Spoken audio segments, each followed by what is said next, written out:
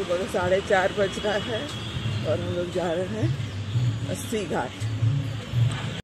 नमस्कार दोस्तों, कैसे हैं आप लोग? उम्मीद है आप लोग अच्छे होंगे। आप सबका मेरे चैनल लाइफ स्टाइल हमारे पर बहुत स्वागत है। ये देखिए, सुबह के चार बज रहे हैं और हम करीब करीब पहुँच चुके हैं अस्सी घाट पर और वहाँ का कार्यक्रम अब शुरू होगा। तो आइए, शामिल होते हैं।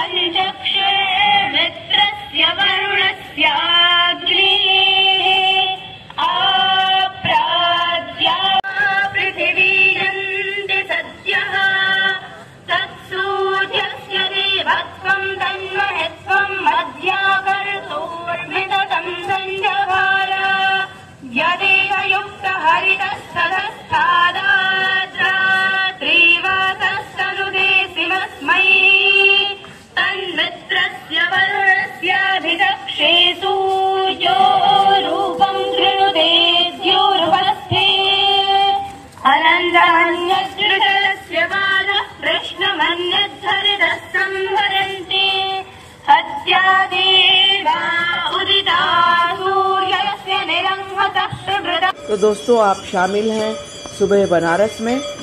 बालिकाओं द्वारा किए गए इस मंत्रोच्चार के बाद देखिए, शुरू हो गई है आरती, माँ गंगा की आरती, सुबह की आरती। तो आइए देखें आरती पूरी आस्था के साथ। सुबह बनारस और शाम अवध। यह कहावत तो आपने सुनी होगी और ये सचमुच दुनिया की दो सबसे खूबसूरत चीज़ों को दर्शाती है। बनारस की एक सुबह और लखनऊ की एक शाम तो सचमुच देखने लायक है और वाराणसी की एक सुबह पूरे भारत में हम सब के लिए बहुत ही दिलचस्प अनुभव प्रदान करती है। तो इसका एक हिस्सा होना वाकई अपने आप में बहुत सुखद है। ये देखिए आरती बिल्कुल लगातार जारी है। ये करीब करीब 45 मिनट्स आरती होती है और ये सुबह बनारस शुरू हुआ था 1914 में। दोस्तों आपको बता दूँ कि यह सुबह बनारस बहुत ही ख़ास है। अ, पहले भी मैंने आपको बताया कि ये करीब करीब 45 मिनट लंबी गंगा आरती है। आरती अस्सी घाट पर होती है और यह सूर्य, देव और पवित्र नदी, गंगा दोनों की प्रार्थना है। यानी दोनों की प्रार्थना एक साथ की जाती है, आरती की जाती है। और फिर आरती एक अत्यंत अवास्तविक अनुभव है। मतलब इसका अनुभव इतना विराट है कि मतलब उसको सिर्फ़ आप अनुभव ही कर सकते हैं। और वर्ष के प्रत्येक दिन पूरे लगन से सुबह बनारस लगातार जारी रहता है। अगर आपको मौका मिले तो आप ज़रूर आए और इस सुबह बनारस का हिस्सा बने।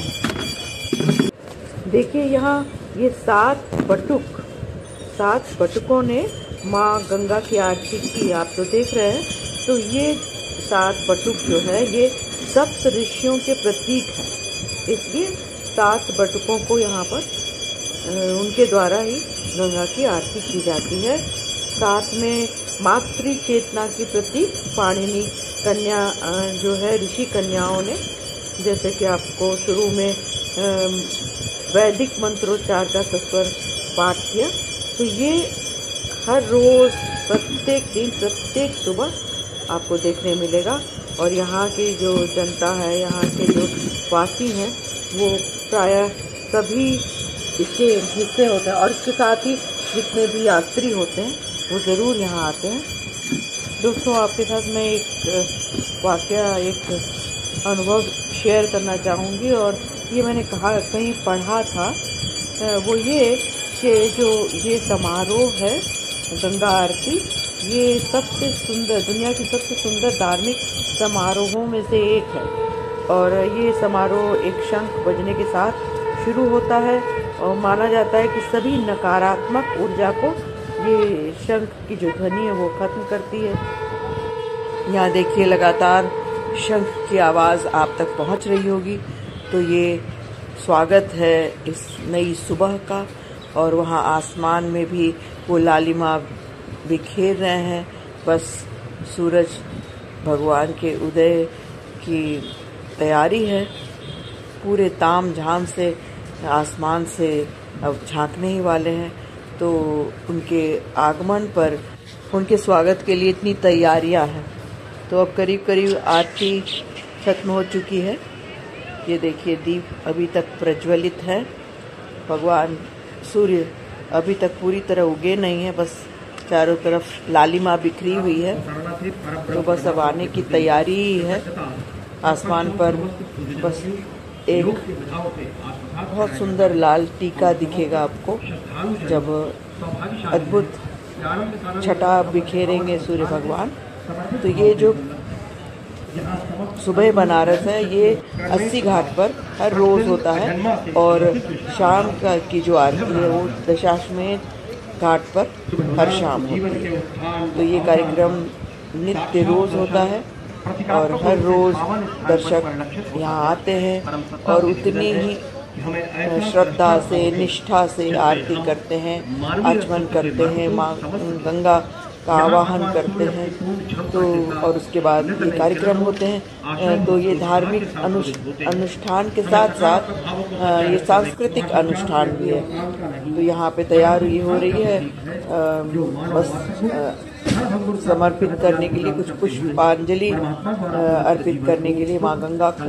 और उसके बाद फिर इधर सांस्कृतिक कार्यक्रम का आरंभ होगा, जिसमें गायन और अन्य कार्यक्रमों को सम्मिलित किया जाएगा और उसके बाद योग का कार्यक्रम होगा। तो यहाँ देखिए, सारे व्यक्ति इकट्ठे हो चुके हैं। फिर से आसमान आसमान लगातार। भगवान सूर्य का रथ लेकर बस अब उपस्थित होने ही वाला है। तो ये हर पल का, हर क्षण का ये जो वीडियो है, क्लिप्स है, मैं आप तक पहुँचा रही हूँ ताकि आप भी दर्शन कर सकें। ये देखिए, पवित्र जल से सब लोगों ने आचमन किया और अब बस पुष्प अर्पित करेंगे। तो प्रणाम करेंगे आरती लेंगे फिर अपने अपने स्थान पे बैठ जाएँगे ये सब चल रहा है।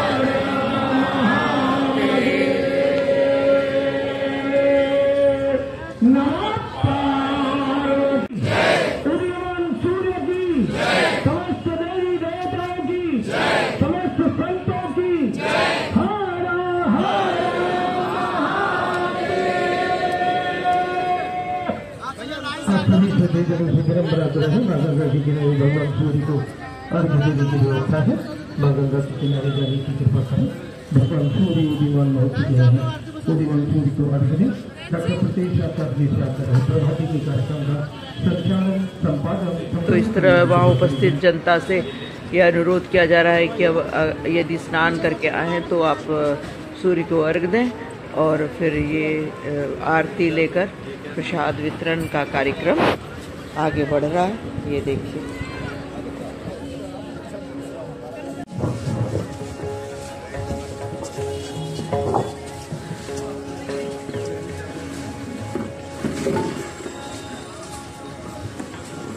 हेलो हेलो हेलो हेलो अब इधर अब सांस्कृतिक कार्यक्रम आरंभ होंगे। मंच सज गया है? कार्यक्रम शुरू होने वाला है। तो आइए, इन्हें भी सुनते हैं। आप इनके सांस्कृतिक कार्यक्रम को भी देखें, शास्त्रीय संगीत का भी लुत्फ उठाएँ और साथ ही साथ आप गंगा का विहंगम दृश्य भी देखें। देखिए, दूर तक कैसे गंगा फैली है और ऊपर अब बस सूरज निकलने की तैयारी है। और ये मैं ज़रा नीचे उतरने की कोशिश कर रही हूँ, हालाँकि गंगा तट तक जाने का इरादा नहीं है, फिर भी कुछ सीढ़ियाँ मैं उतर कर देखना चाहती थी तो वहीं देख कर आई। कुछ लोग सूर्य को अर्घ दे रहे हैं। ये देखिए, यहाँ नाविकों और नाव, दोनों की भीड़ है, दोनों इंतज़ार कर रहे हैं कि कोई यात्री आए और उनको नौका विहार करवा सके।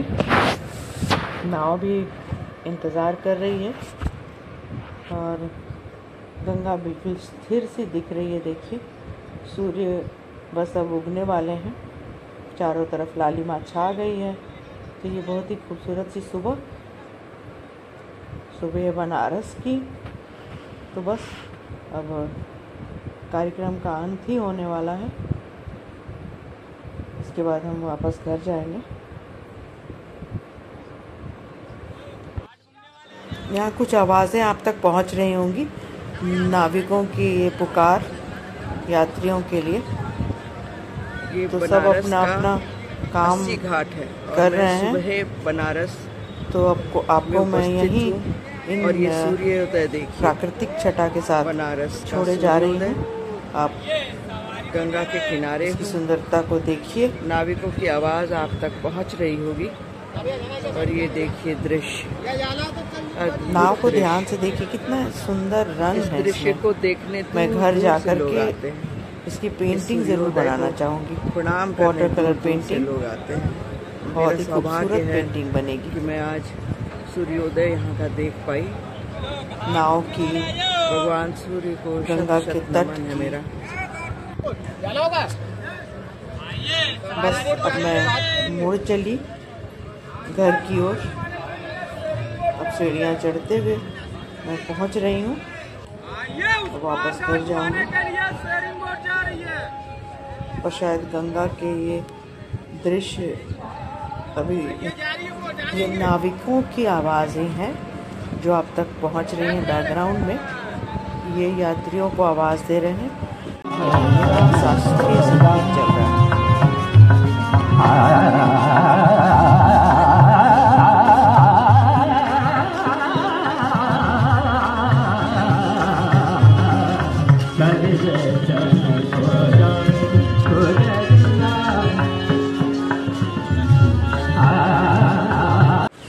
हम लौट चले हैं घर की ओर। रास्ते में हमने ये छोटे छोटे मंदिर देखे। ये देखिए कितने खूबसूरत छोटे छोटे से मंदिर हैं और यहाँ फूल लिए बैठा ये माली है। बहुत रंग बिरंगा फूल और माला और जो भी भगवान को चढ़ता है, ये मदार की माला। ये ये देखिए अस्सी घाट। ये नेम प्लेट लगा हुआ है। ये देखिए, लाल, पीले। नारंगी हर तरह के फूल हैं, तुलसी माला है इनके पास। और ये झलक ये सड़क की देखिए, जहाँ दूर से एक साधु महाराज आ रहे थे। तो ये साधु महाराज खड़े हो गए, उनकी भी तस्वीरें मैंने ली। और ये वापस, हम लोग वापस अपने घर जा रहे हैं, रास्ते में ये गाय, गोरू सब मिली है। शाम को हम लोग निकले सारनाथ का दर्शन करने के लिए। बहुत ही भीड़ थी और बारिश भी बहुत हुई।